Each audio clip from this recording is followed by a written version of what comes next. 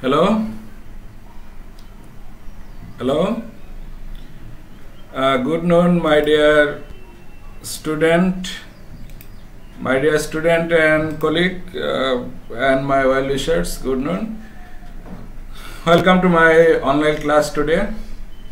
How are you? I think you are well by the grace of Almighty God. I'm also well. Also, I think uh, all of you uh, stay at home. That, that kind of things we are doing at home, and uh, by the direction of government of our uh, of our country and the uh, direction of the principal of our college, just we are taking online class. And my today's class is uh, for ACC English first paper. And um, I think uh, all of us will join with us. And uh, if any kinds of inquiry you need, uh, just you can message me in, in inbox and I'll try to solve every kinds of problem.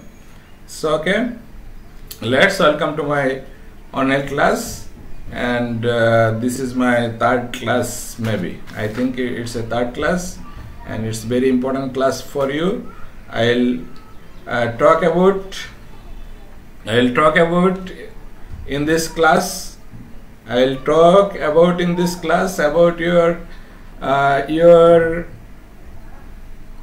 uh, flowchart making and flowchart making and uh, uh, how can we write summary in English past paper. That is our class. So let's uh, join our class. Welcome to my online class.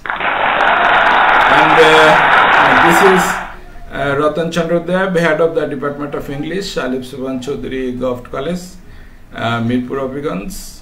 And okay. Our today's lesson, our today's lesson, uh, folk, folk music uh, unit 13 lesson 2 so based on this unit and lesson just will uh, show how can we write summary and uh, making a flow chart so okay thank you so folk music you know that folk music uh, bangla means lokosangit তো আজকের এই ক্লাসটি লোকসঙ্গীত নিয়ে যারা join করছ তারা দেখতেছে যে লোকসঙ্গীত জিনিসটা কি আজকে এই জিনিসগুলো নিয়ে আমরা ডিসকাস করব তো প্রথমে আমি দেখতেছি যে আজকে, আমরা যদি এই ডিসকাস করি আজকের চ্যাপ্টারটা তাহলে আমরা এই চ্যাপ্টার থেকে বা এই লেসন থেকে আমরা কি শিখতে পারব? The first one define folk music আমরা এই ক্লাস থেকে শিখতে পারব যে কীভাবে ফোক মিউজিকের সংজ্ঞা কি বা লোকসঙ্গীত বলতে কি বুঝি?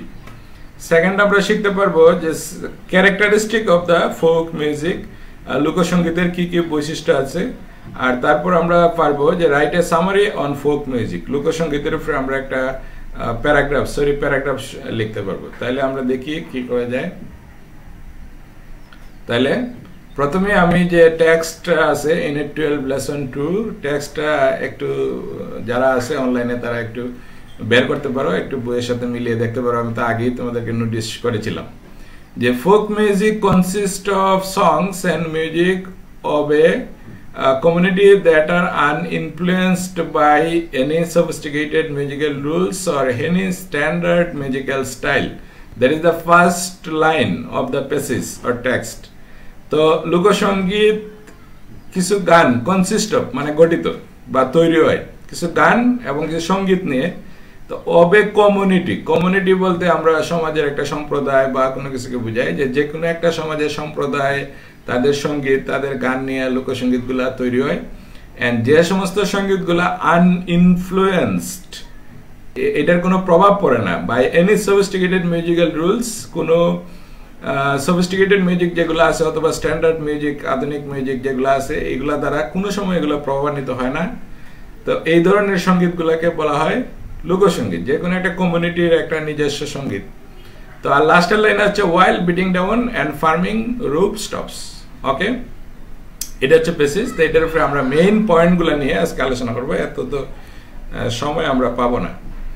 তো প্রথমেই আছে what is folk music folk music বলতে আমরা কি বুঝি? তো এটা টেক্সটে তোমরা যদি দেখতে পারো একটু, যে folk music is a type of ancient music which spring from the heart of a community মানে লোকসঙ্গীত হচ্ছে এমন এক সংগীত, এমন এক টাইপ বলতে এক ধরনের সংগীত যেটা অ্যান্সিয়ান মিউজিক এটা পুরাতন বা প্রাচীন সংগীত যাহা স্প্রিং তৈরি হয় বা সৃষ্টি হয় from the heart of a community যে কোনো একটা সম্প্রদায়ের একদম অন্তর থেকে যে সমস্ত গান মানুষের তৈরি করে, এগুলো হচ্ছে লোকসঙ্গীত based on the natural style of expression এগুলা এক্সপ্রেশনটা মানে মানুষের থেকে এগুলা প্রকাশ পায় বা একদম ন্যাচারাল ভাবে প্রাকৃতিক ভাবে এগুলা মানুষের মন থেকে এই গানগুলা বেরিয়ে আসে। তাহলে আমরা ফার্স্ট লাইনে আমরা বলতে পারি প্রথম পয়েন্টে যে লোকসঙ্গীত জিনিসটা কি?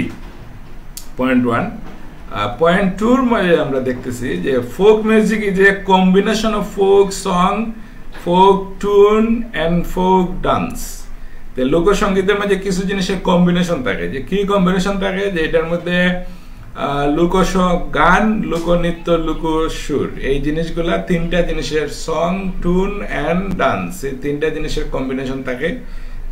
আচ্ছা তারপরে আমরা দেখতেছি, যেমন বাউল সং যেমন বাউল সংগীত যেগুলো আছে, এগুলোর মধ্যে দেখবা ডান্স আছে, তারপরে সুর তো থাকবে তারপরে গানও আছে। তিনটা জিনিসের কম্বিনেশন আমরা পাই। যারা বাউল শিল্পী আছে, তারা এই জিনিসগুলো নিয়ে আলোচনা করে। তাহলে আমরা what is folk music folk music দেখলাম পয়েন্ট ওয়ানে যে এমন একটি সংগীত যা মানুষের অন্তর থেকে একটা কমিউনিটির অন্তর থেকে সৃষ্টি হয়।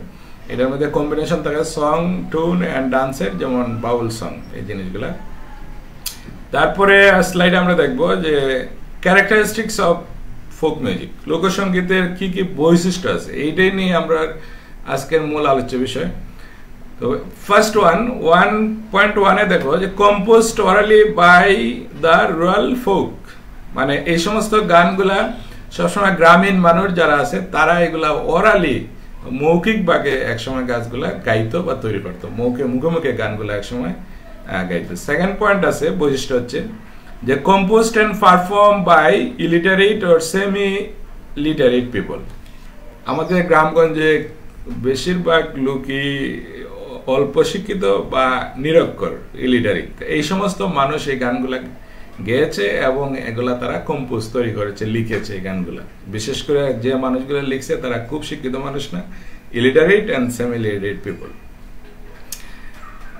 number three no regular practice is required for all এই সমস্ত গানের জন্য নিয়মিত খুব বেশি একটা প্র্যাকটিসের প্রয়োজন হয় না, যেমন ক্লাসিক্যাল মিউজিকের যেগুলো প্রয়োজন হয়। Number four contents strong emotion of female love and separation যেমন ফোক মিউজিক লোকসঙ্গীতের মধ্যে সবচেয়ে বেশি যে জিনিসটা পাওয়া যায় স্ট্রং ইমোশন মানুষের মনের আবেগটা খুব বেশি পাওয়া যায়। লাভ অ্যান্ড সেপারেশন মানুষের ভালোবাসা, বিচ্ছেদ, এই সমস্ত জিনিসগুলো বেশি দেয়। তাহলে ফোক মিউজিকে আমরা প্রথমে চারটা, চারটে স্ট্রি number one two three four আমরা যদি যাই, যে number five it uses simple and natural rhythms folk মিউজিকের যে রিদমসগুলো থাকে, এগুলো খুব সিম্পল এবং ন্যাচারাল একদম ন্যাচারাল রিদমগুলো ব্যবহার করা হয়। Number six both words and tune are appealing যে ফোর্স ফোক মিউজিকের যে সমস্ত কথাগুলো ব্যবহার করা হয়, শব্দ বা কথা, গানের কথা বা যে সুর, এগুলা খুব আকর্ষণীয়, মানুষকে খুব বেশি আকর্ষণ করে। হ্যাঁ এই গানগুলা সেভেন যেমন spontaneous expression in নিজি language and local dialect and simple tone যেমন এই সমস্ত গানে যে এক্সপ্রেশনগুলো থাকে স্পন্টেনিয়াস মানুষের মনের ভিতর থেকে অনর্গল গানগুলো বেরিয়ে আসে এবং খুব ইজি ল্যাঙ্গুয়েজ খুব সহজ ভাষায় এবং লোকাল ডায়ালগ ব্যবহার করা হয়। এখানে লোকাল ডায়ালগ এটা একটা ইম্পর্টেন্ট পয়েন্ট যে স্থানীয় ভাষায় গানগুলা লেখা থাকে অ্যান্ড সিম্পল ট্রেন এগুলা ব্যবহার করা থাকে। Number eight it may be sung in group or individually এই সমস্ত গানগুলো সবসময় মানুষের গ্রুপ আকার, অথবা ইন্ডিভিজুয়ালি ইন্ডিভিজুয়ালি বলতে আমরা বুঝাইতেছি যে ব্যক্তিগত মানে মানুষ নিজেও গান গাইতে পারে, অথবা গ্রুপ একটা গ্রুপ করো, কুরাস আকারে গানগুলা গাওয়া হয়। তাহলে এখানে আমরা দেখতে পেলাম যে আটটা পয়েন্ট দেখতে পেলাম ক্যারেক্টারিস্টিক্স আর একটা ক্যারেক্টারিস্টিক আছে। যে it contains a strong emotion emotive expression of female love and separation female love and separation এটার মধ্যে থাকে তাহলে গানের আমরা কিছু বৈশিষ্ট্য দেখলাম আর লোকসঙ্গীতের সংজ্ঞা দেখলাম, যে এই জিনিসগুলো আমরা এই চ্যাপ্টার থেকে দেখলাম। এখন আমাদের কাজ হচ্ছে যে আমরা কীভাবে সামারি এবং কি লাগবো তবে এর আগে দেখো যেমন এই যে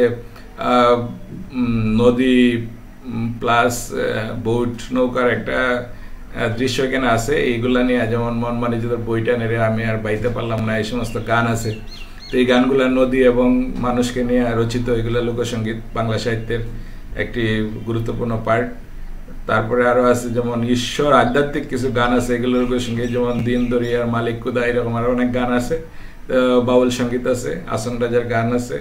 তো অনেক গান আছে যেগুলা খুবই আকর্ষণীয়, আমরা সবসময় গাই। এই গানগুলো, এই লোকসঙ্গীত এগুলো বৈশিষ্ট্য, চরিত্র আমরা দেখলাম। এখন আমাদের কাজ হচ্ছে যে গ্রুপ ওয়ার্ক কেন তো করানোর সুযোগ সময় নাই, তারপর আমরা বলতেছি যে write down the summary of the text আমি যে আজকে অনলাইন ক্লাসে যে জিনিসটা করলাম যে মেইন মেইন ইম্পর্টেন্ট পয়েন্টগুলো সমস্ত পেসেজে আমরা এখানে একটু আলোচনা করলাম।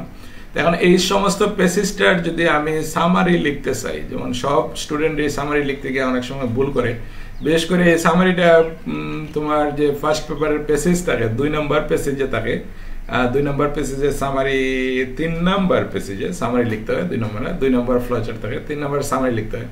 তো সামারি লিখতে গিয়ে অনেক সমস্যা স্টুডেন্ট আমরা দেখছি যে বিশেষ করে আমাদের মতো কলেজ যেগুলো আছে, এগুলাতে গ্রামের কলেজ যেগুলো রুরাল কলেজ আছে, প্রায় সেভেন্টি পার্সেন্ট থেকে এইট্টি পার্সেন্ট স্টুডেন্ট সামারি লিখতে ভুল করে। তো আমাদের যারা এই বছরের, এই বছরে এসিসি পরীক্ষার্থী আসো বা যারা এবার ফার্স্ট ইয়ারে আসো সবাই সামারি রাইটিংটা শিখতে পারলে আমরা মার্কস হচ্ছে এটার মধ্যে টেন টেনের টেন না পাওয়া অন্তত এইট মার্কস অন্তত পেয়ে যাবে।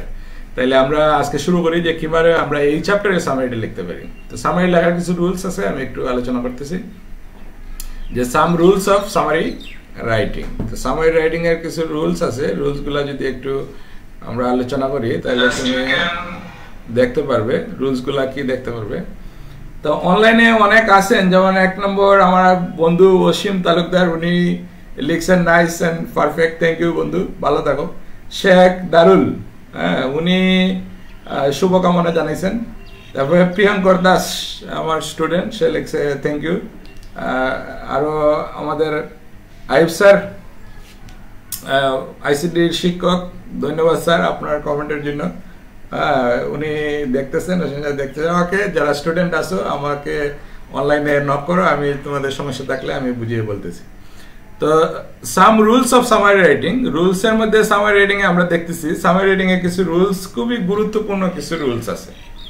তো, প্রথম রুলসটা হচ্ছে যে start by your own words যে সামারি রাইটিং করতে গেলে যে জিনিসটা করতে হবে, প্রথমেই সমস্ত সামারিটা আমরা যে ভুল করি, যে নিজের মতো করে কিছু পেসিস থেকে লাইনগুলো তুলে দিয়ে দিই। তো নিজের মতো করে যদি পেসিস থেকে আমরা লাইনগুলো তুলে দিই তাহলে তাহলে সামারি রাইটিং হবে না। সামারি রাইটিং সম্পূর্ণ নিজের ভাষায় অন রাইট লিখতে হবে number two don't quote quote original sentence যে অরিজিনাল সেন্টেন্স কোট করা যাবে না। একদম সম্পূর্ণ হুবহু সেন্টেন্স লেখা যাবে না।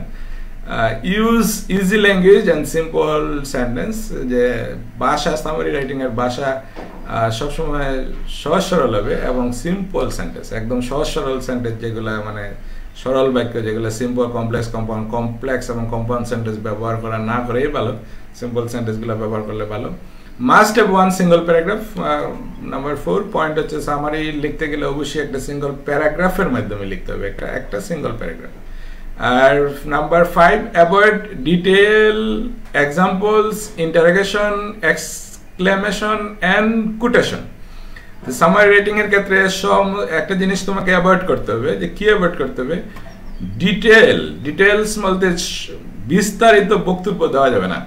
কোনো এক্সাম্পল এখানে ইউজ করা থাকলে এক্সাম্পল দেওয়া যাবে না। ইন্টারগেশন প্রশ্নবোধক চিহ্ন এক্সক্লেমেশন চিহ্ন কোটেশন এই জিনিসগুলো ব্যবহার করা। যাবে না সামারি রেটিং এ। তো সামারি রেটিং এ এগুলা যদি ব্যবহার না করো তুমি নিজের মতো করতে হয়, তাহলে তোমাকে কি করতে হবে? তুমি যে জিনিসটা করতে হবে, তো underline the keywords or points তুমি সমস্ত পেসিসটা পরে তুমি যদি এক কাজ করতে পারো যে পেসির মধ্যে সবচেয়ে ইম্পর্টেন্ট পয়েন্টগুলো কি আছে বা কিওয়ার্ডসগুলো কি আছে, এগুলো দিয়ে আন্ডারলাইন করে করতে পারো, তাহলে তোমার সামারি লেখাটা সুন্দর হবে, মূল জিনিসগুলো চলে আসবে। যেমন পয়েন্ট তৈরি করতে গেলে এখানে কিছু ইম্পর্টেন্ট পয়েন্ট দেওয়া আছে, যেমন তুমি এক কাজ করতে পারো ডেফিনেশন যে যে যে ফোক মিউজিক সম্পর্কে যদি আমরা বলি ফোক মিউজিক কাকে বলে? তো এরকম যে চ্যাপ্টারটা দেওয়া থাকে, এটার ডেফিনেশনটা কি? মানে যে বিষয়, যে কোনো একটা বিষয়ের পরিচয় ডেফিনেশন আর ইন্ট্রোডাকশন পরিচয় দেওয়া থাকলে এটা তুমি আন্ডারলাইন করে রাখো। এটা তোমার, এটা সামার রাইটিং এ দিতে হবে। একটা প্যারাগ্রাফ লিখার মতোই। তারপর টাইপস অর ক্যারেক্টারিস্টিক্স তোমার এই বৈশিষ্ট্যগুলো কি আছে? যেমন ফোক মিউজিকের বৈশিষ্ট্য কি আছে? এটা আমরা এখানে দেখতে পারতেছি। আছে, এগুলো আন্ডারলাইন করো। কজ এস এন ইফেক্ট যেমন তুমি যে কোনো একটা বিষয়ের উপরে সামারি থাকলে এটার কারণ কি, ফলাফল কি, এগুলো দিতে পারো। লোকেশন লোকেশন দিতে পারো মানে আন্ডারলাইন করতে পারো ইম্পর্টেন্ট পয়েন্টগুলো ইম্পর্টেন্স মানে যে বিষয়টা নিয়ে আলোচনা করা হয়েছে, যে এটার গুরুত্বটা কোন জায়গায় লেখা আছে, এটা দাগ দিয়ে রাখতে পারো। সলিউশন আর কনক্লুডিং সেন্টেন্স লাস্টের দিকে একটা অবশ্যই প্যাসেজের একটা কনক্লুডিং জিনিস থাকে, তুমিও একটা কনক্লুডিং জিনিস ইউজ করতে পারবে। তবে নিজের বাসায়, তবে নিজের মতো না। প্যাসেজে যা কিছু আছে, তাই লিখতে হবে। মূল বিষয়টা ভাবটা লিখতে হবে। তাহলে আমি এখানে একটা জিনিস সবচেয়ে গুরুত্বপূর্ণ, যেটা হচ্ছে সামারি রাইটিং এর ক্ষেত্রে। তুমি প্যাসেজের মূল পয়েন্টগুলো মানে কোন কোন বিষয় সবচেয়ে বেশি গুরুত্বপূর্ণ, এই জিনিসগুলো তুমি আগে আন্ডারলাইন করে রাখলে তুমি লিখতে সুবিধা হবে। এই পয়েন্টগুলো লিখতে সুবিধা হবে।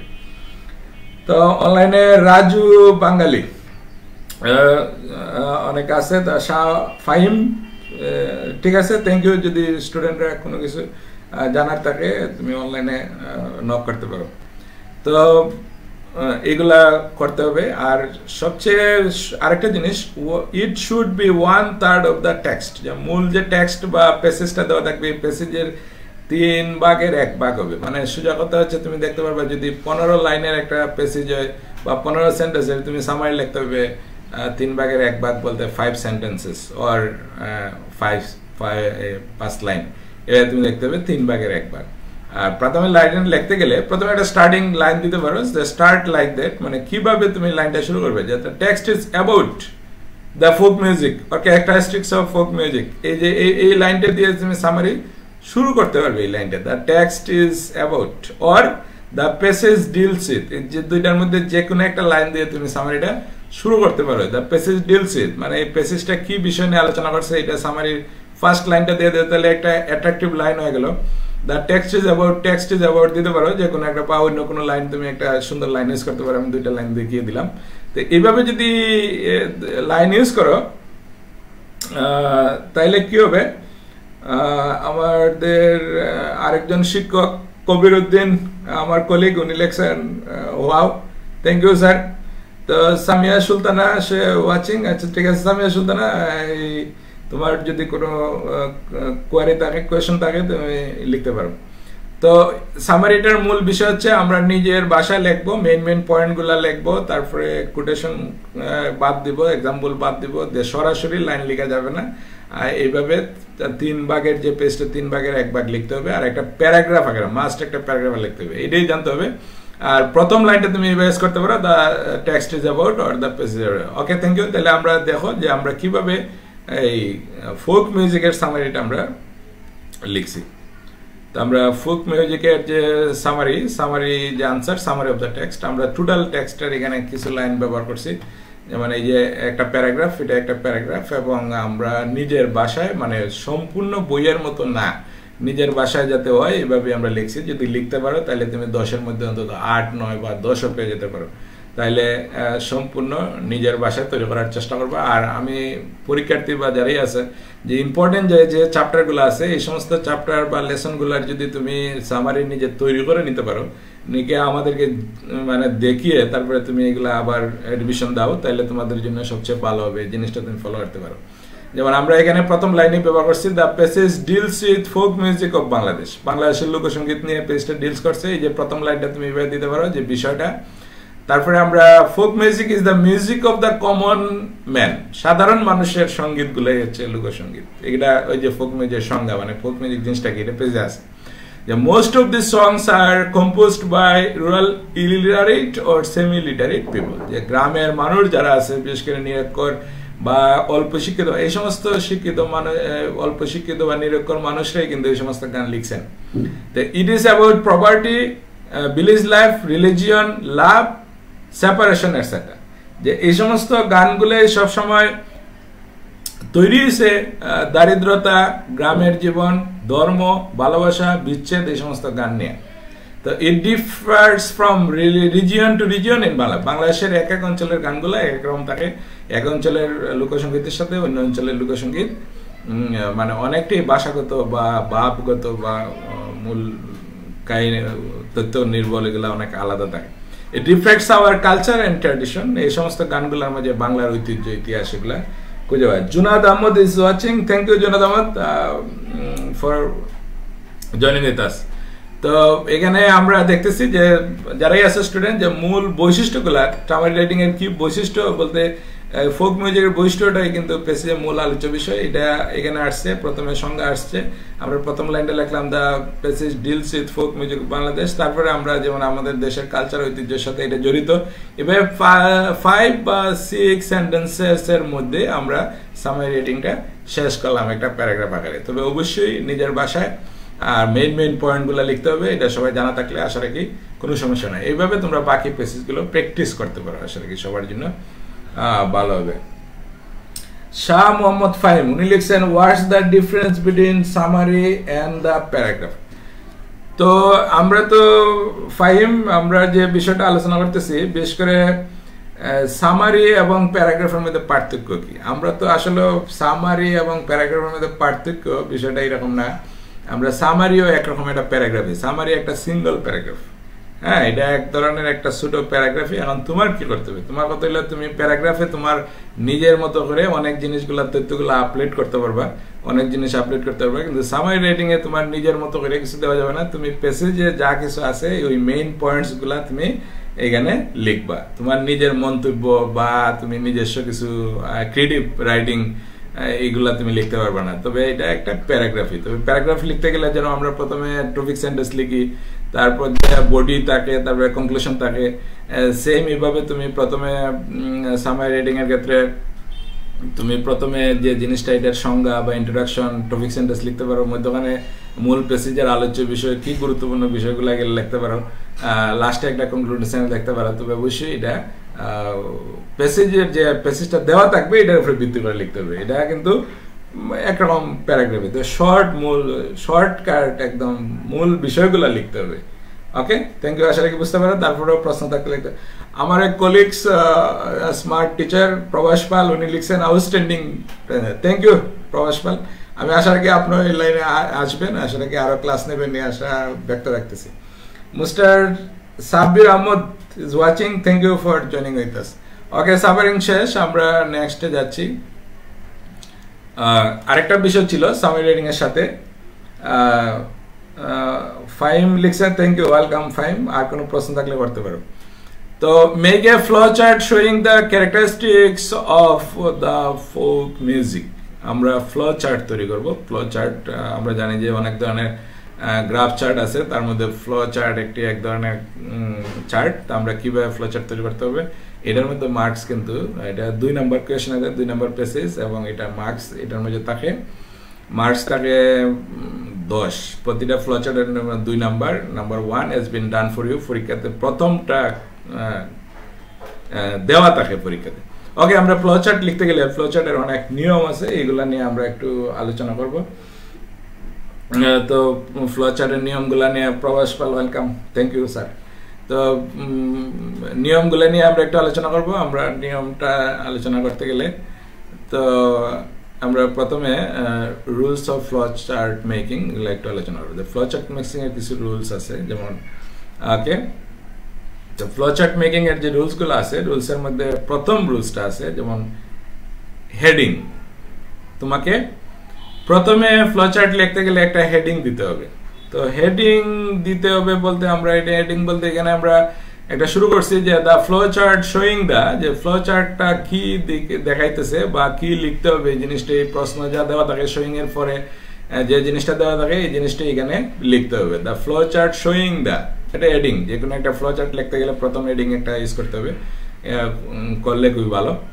আর দুই নম্বর রুলস হচ্ছে নাম্বার টু ন সাবজেক্ট মানে ফ্লো চার্টে কোনো সাবজেক্ট লেখা যাবে না। তোমাদেরকে আমি আবার বলতেছি এখানে যে ফ্লো চার্ট জিনিসটা প্রথমে এডিং আমরা প্রশ্নের মধ্যে দুই নম্বর কোয়েশনে ফার্স্ট পেপারে শোয়িং এর পরে যে জিনিসটা লেখা থাকে, যে আমাদের কি লিখতে হবে চার্টের মধ্যে ফ্লো চার্টের মধ্যে কিছু ইনফরমেশন আমাদেরকে দিতে হবে। ইনফরমেশন কোন ধরনের ইনফরমেশন দিতে হবে? জিনিসটা লেখা থাকে শোয়িং এর পরে শোয়িং শব্দটার পরে লেখা থাকে। এই জিনিসটা আমরা এখানে লিখব ফ্লো চার্টের প্রথমে। তারপরে যেটা লিখতে হবে ফ্লো চার্টের মানে যে বক্স আকারে লিখতে হয় বক্সের ভিতরে অবশ্যই যে সম্পূর্ণ সেন্টেন্স লেখা যাবে না। এটা প্রথমে তুমি লিখতে হবে ন সাবজেক্ট মানে কোনো সাবজেক্ট যে সেন্টেন্সের মধ্যে প্যাসেজের মধ্যে অনেক সাবজেক্ট দেওয়া থাকে সাবজেক্ট লেখা যাবে না। তবে কেস মানে ইনকে কোনো কোনো ক্ষেত্রে লেখা যায়, এটা খুব রেয়ার তবে বেশিরভাগ ক্ষেত্রে এটা লিখতে হয় না। Number three point no verb or modal verb মানে সম্পূর্ণ ক্ষেত্রে এটা কোনো বার্ব সরাসরি মূল বার্ব বা মডেল অক্সিলের বার্ব যেগুলো আছে এগুলো ব্যবহার করা যাবে না। থার্ড হচ্ছে ওয়ান ওয়ার্ড মানে একটা বক্সের মধ্যে যদি দেখা যায় যে তোমার যে ইনফরমেশনটা চাওয়া হচ্ছে, এটা এক ওয়ার্ডই হয়ে যায়, তুমি এক ওয়ার্ড ইউজ করতে পারো। আর এক ওয়ার্ড যদি না হয়, তাহলে তোমাকে ফ্রেজ ব্যবহার করতে হবে ফ্রেজ ফ্রেজ কীভাবে তৈরি করতে আমরা জানি যে এটা এক লেখা আছে, এক না, এক ওয়ার্ড দিয়ে ফ্রেজ হবে না। আমরা দুই থেকে তিন, চার, পাঁচ ওয়ার্ড দিয়ে একটা ফ্রেজ মিনিমাম দুইটি ওয়ার্ড দিয়ে শব্দ গুচ্ছ। দুইটি, তিনটি, চারটি, পাঁচটি ওয়ার্ড দিয়ে আমরা ফ্রেজ তৈরি করতে পারি। ফ্রেজ তৈরি করতে পারি। তাহলে এখানে আমরা ফ্রেজ আকারে লিখতে হবে। তাহলে প্রথম পয়েন্ট ফোরটা একটু দেখতে হবে যে এক ওয়ার্ড ওয়ান ওয়ার্ড আর বেশিরভাগ ক্ষেত্রে এক ওয়ার্ড দিয়ে যদি না হয়, তাহলে আমাদেরকে ফ্রেজ তৈরি করতে হবে। ফ্রেজ মানে দুই, তিন, চার, পাঁচ, ছয়টি শব্দ এরকম লিখতে হবে। তাহলে ফ্রেজ তৈরির ক্ষেত্রে আমাদেরকে যে জিনিসটা প্রথমে ফার্স্ট নাম্বার দেখতে হবে যে use noun or noun phrase আমরা যে কোনো একটা নাউন ব্যবহার করতে পারি অথবা নাউন ফ্রেজ ব্যবহার করতে পারি। যেমন নাউন আমরা যদি ইউজ করি, যেমন ড্রাগ একটি নাউন পলিটিক্স একটি শব্দ রোজেস একটি শব্দ, এরকম একটি শব্দ দিয়ে অনেক সময় ইনফরমেশন চাওয়া গেলে হয়ে যায়। আর যদি একটি শব্দ না হয়, তাহলে ফ্রেজ দুই বা তিন, চার, পাঁচ, ছয়, চার চেয়ে বেশি শব্দ ইউজ না হয়। চার থেকে পাঁচটি শব্দই লিখতে হবে। সর্বোচ্চ। ওকে সিক্স নাম্বার ইউজ জিরান ডর এক্সটেনশন যে প্লাস জিরান বলতে আমরা কি বুঝি? জিরান মানে হচ্ছে মূল বার্বের প্রেজেন্ট ফর্মের সাথে আমরা আইনজি যুক্ত করি। তো যে কোনো একটা বার্বের প্রেজেন্ট ফর্মের সাথে আইনজি যুক্ত করলে এটা জিরান তাহলে তুমি বক্সের ভিতরে জিরান ডাকারে আমরা শুরু করতে পারি, অথবা আরেকটা করতে পারি যে ইনফিনিটিভ প্লাস এক্সটেনশন ইনফিনিটিভ হচ্ছে টু প্লাস মূল বার তাহলে আমরা টু প্লাস মূল বার প্লাস এক্সটেনশন এইভাবে দিয়েও আমরা শুরু করতে পারি। আর অথবা বার্বের সাথে আইনজি আমরা জিরান ডাকারও শুরু করতে পারি। এটা দুইটা সিস্টেম যেমন আমরা লিখতে পারি যে সে কি করে? তো সে করে আমরা বলতে পারি সে কলেজে যায়। তাহলে এই যে গো আছে বার্বটা গো এর সাথে আইনজি করলাম গোয়িং টু কলেজ সে কলেজে যায়। গো এর সাথে আইনজি যোগ করলে আপনি এটা জিরান রয়ে গেল। তাহলে মূল বার্ব থাকল না, এইটা আমাদের একটা বিষয়। আর তারপরে আছে টু গো টু কলেজ অথবা টু গো টু কলেজ এই যে গোর আগে আমরা টু ইউজ করছি, তাহলে এটা ইনফিনিটিভ যে কোনো একটা ফর্ম আমাদেরকে ব্যবহার করতে হবে বার্বের ক্ষেত্রে।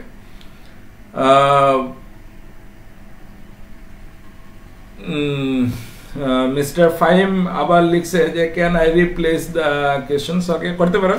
প্রশ্ন থাকলে খরক কি প্রশ্ন আছে। ঠিক আছে, আমি বলতেছি। তো number seven being plus extension in case of এমেজার ওয়াজয়ার যদি কোনো সেন্টেন্স এমেজার ওয়াজয়ার থাকে সাবজেক্টের পরে, তাহলে তোমার এগুলো যদি লিখতে হয়, তাহলে এমেজার ওয়াজয়ারের পরিবর্তে আমরা বিং শব্দটা ব্যবহার করব। তাহলে এমেজার ওমেজার না লেখে বিং লিখব বিং প্লাস এক্সটেনশন কিছু ইউজ করতে হবে। ন ইউজ অ্যাডভার্বিয়াল ফ্রেজ অথবা আমরা অ্যাডভার্বিয়াল ফ্রেজ ইউজ করতে পারি। আর একটা সবচেয়ে গুরুত্বপূর্ণ বিষয় পয়েন্ট হচ্ছে নয় নাম্বার ন বক্স ন মার্কস মানে সম্পূর্ণরূপে সবচেয়ে ইম্পর্টেন্ট পয়েন্ট যে অনেকে মনে করে যে আমরা এটা ফ্লো চার্ট বক্স না দিয়ে এমনি কিছু তথ্য লিখা দিই, তাহলে কি হবে? তো এখানে লেখা আছে যে নো বক্স নো মার্কস মানে তুমি বক্স নাই, কোনো মার্কসও নাই বুঝতে হবে। এখন বক্সের ভিতরে আমরা কীভাবে ফ্লোচার্ট তৈরি করব, আমরা আবার একটু চিন্তা করি। যে প্রথমে একটা এডিং দেবো, তারপরে আমরা কোনো সাবজেক্ট ইউজ করব না। বার্ব সরাসরি ইউজ করা যাবে না, কোনো বার্ব বা মডেল অক্সিলিয়ারি বার্ব শব্দ এক শব্দ দিয়ে হলে হবে, যদি না হয় তাহলে ফ্রেশ তৈরি করতে হবে। ফ্রেশ সর্বোচ্চ এক, দুই, তিন, চার, পাঁচ শব্দ। এর চেয়ে বেশি হাতে না হয়। নাম্বার ফাইভ যেমন এগুলা ফ্রেজ তৈরি করতে হলে আমাদেরকে এখানে কিছু ফ্রেজ আছে, যেমন আমরা নাউন ফ্রেজ বা নাউন ফ্রেজ ইউজ করতে পারি জিরান্ড ইউজ করতে পারি ইনফিনিটিভ ইউজ করতে পারি, অথবা বিং প্লাস এক্সটেনশন ইউজ করতে অ্যাডভার্বিয়াল ফ্রেজ ইউজ করতে পারি। এই দুই তিন ধরনের ফ্রিজ ইউজ করতে পারি। তাহলে এগুলা ইউজ করতে হলে ফ্রিজ তৈরি করতে হলে যে আমরা জিরান করলে আইনজি বার প্লাস আইনজি জিরান না করলে টু প্লাস বার অথবা নাউন, অথবা বিং প্লাস অন্য কিছু অ্যাডভার্বিয়াল ফ্রিজ আর অবশ্যই বক্স আকারে লিখতে হবে। ওকে থ্যাংক ইউ আশা রাখি বুঝতে পারছ, কোনো প্রশ্ন থাকলে করতে পারো। তাহলে আমরা এই যে চ্যাপ্টারটা বিশেষ করে ফোক মিউজিকের যে flow chart showing the characteristics of the folk music মানে আমাদেরকে বলা হয়েছিল যে আগের স্লাইডে যে যে আগের স্লাইডে আমাদেরকে বলা হয়েছিল। প্রশ্নটা বলা হয়েছিল যে flow chart showing the characteristics of the folk music folk মিউজিকের বৈশিষ্ট্যগুলো কি? এগুলা নিয়ে আমরা একটা ফ্লো চার্ট তৈরি করব। তাহলে এটা আমরা বুঝলাম যে আমরা আসলে ফ্লো চার্টের রুলসগুলো বুঝলাম। এখন আমরা যে জিনিসটা করব যে ফ্লো চার্ট আমরা, এই যে ফোক মিউজিকের বৈশিষ্ট্যগুলো কি, এটা নিয়ে আমরা ফ্লো চার্ট তৈরি করব। তো ফোক মিউজিকের অনেকগুলো বৈশিষ্ট্য আছে, আমরা জানি। তার মধ্যে প্রথমটি দেওয়া থাকবে। যেমন এক নাম্বার বক্সটি দেওয়া থাকে, যেমন number one using easy language মানে লোকসঙ্গীতের ক্ষেত্রে একটা গুরুত্বপূর্ণ বিষয় হচ্ছে যে এটার মধ্যে সহজ ভাষা ব্যবহার করা হয়। তো এইটা পরীক্ষাতে প্রশ্নতে দেওয়া থাকে। তো যেহেতু যেটা প্রশ্নতে দেওয়া থাকে, এটাই মনে হয় এখানে আছে নাম্বার এ ওয়ান ইউজিং এই যে ধরো আমরা কি, কয়টা শব্দ ব্যবহার করছি? এক, দুই, তিন। তো এটা জিরান ফর্ম জিরান ফর্ম বলতে বার বাসে ইউজ ইউজের সাথে আমরা আইনজি যোগ করছি।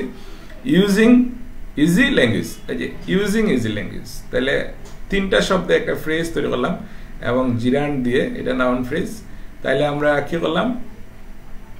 এটা দেওয়াই ছিল। এইভাবে আমরা বৈশিষ্ট্যগুলো আর কি কি আছে আমরা লিখব। আমরা দুই নম্বর বৈশিষ্ট্য দেখলাম যে springing from the heart of community মানে এই সমস্ত গানগুলো অবশ্যই মানুষের মন থেকে তৈরি হয়। এটা স্প্রিং সাথে আইনজীবী করা আছে। স্প্রিঙ্গিং হার্ট অফ কমিউনিটি মানুষের অন্তর থেকে গানগুলো তৈরি হয়। তাইলে আমরা এখানে একটা ফ্রেজ তৈরি করলাম, এক, দুই, তিন, চার, পাঁচ, ছয় শব্দ। তারপরে আমরা আরেকটা আছি আমার স্টুডেন্ট আরেকজন খুব পরিচিত স্টুডেন্ট স্নিগ্ধা তালেদার সে দেখতেছে থ্যাংক ইউ স্নিগ্ধা। তোমার বন্ধু বান্ধব যারা আছে তাদেরকে যুক্ত করো। Number three using local dialect এই সমস্ত জিনিসগুলোতে লোকালটা ডায়ালেক্ট ফ্লচার্টে সরি ফোক মিউজিকে লোকাল ডায়ালেক্ট ব্যবহার করা হয় তিন নম্বর বৈশিষ্ট্য। Number four singing in group or individually এই সমস্ত গানগুলো সবসময় মানুষের গ্রুপ আকারে অথবা ইন্ডিভিজুয়ালি ব্যক্তিগতভাবে একা গাতে পারে অথবা গ্রুপ দুইজন, তিনজন, চারজন মিলেও গায়। Number four composing by literate people এই সমস্ত গানগুলা ইলিটারেট নিরক্ষর মানুষ অথবা যে সমস্ত মানুষ খুবই কি আছে যে স্বল্প শিক্ষিত গ্রামের মানুষ তারাই লিখছে। আর number six using easy tone এই সমস্ত গানগুলো স্টোনও ইউজ করা টোন ইউজ করা হয়। যে সমস্ত টোন ইউজ করা হয় ইজি টোন ইউজ করা হয়। তাহলে আমরা দেখলাম যে one two three four five six এই যে ছয়টি নোটস শর্ট নোটস আমরা তৈরি করলাম। এটি ফ্লো চার্ট এখন এটা প্রথমটা এক নাম্বারটা দেওয়া আছে। এখন তো এটা তো দেওয়া থাকে, আমি লিখলাম। দুই, তিন, চার, পাঁচ, ছয়, এই ফ্লোচার্টগুলো পাশাপাশি তৈরি করা আছে। একটার সাথে একটা পাশাপাশি। আর প্রতিটার মধ্যে একটা এরো চিহ্ন দেওয়া আছে। এরো সাইন এখানে দেওয়া আছে এরো চিহ্ন দেওয়া আছে। এই চিহ্নটা অবশ্যই ব্যবহার করতে হবে। আর স্টুডেন্ট যারা আছে, তারা যে কাজটি করতে পারবে, যে আমরা কীভাবে লিখলাম? যে অবশ্যই ফ্রেজ আকারে আমরা এটা তৈরি করছি এবং কম শব্দে মানে তৈরি করছি এবং তৈরি করার নিয়মগুলো আমরা বলেছি এখানে প্রতিটার মধ্যে প্রথমে bar plus N G bar plus N G bar plus N G দেওয়া আছে। তোমরা যদি সবই একই